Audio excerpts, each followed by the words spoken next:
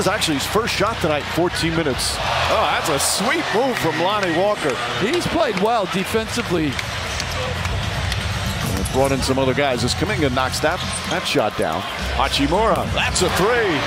Rui Hachimura has been phenomenal shooting from three-point range. He's second in the NBA in playoff three-point percentage. DiVincenzo answers back.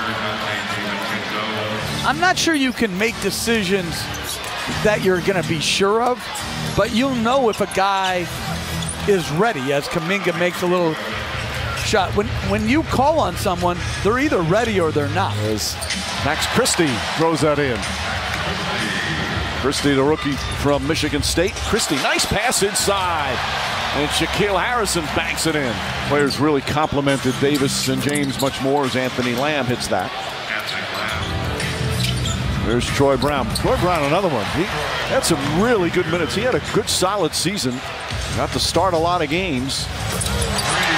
Shaquille Harrison able to knock that down. You look at young teams, like are you, so they, the Warriors, then the Lakers, then they, they're exchanging blowouts. It's a mentality. Everybody wants to talk about it like it's some scientific thing.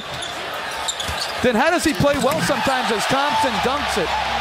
How, how do these guys achieve the level of consistency that he had at his age? Joel Embiid will not be able to play well tomorrow because as Payton dunks it home because he played 39 minutes and he's young. Nice move there by Christie. Payton lopping in.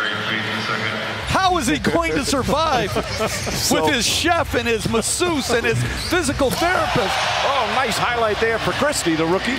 So after the Golden State Warriors dominated game two, LA Lakers come back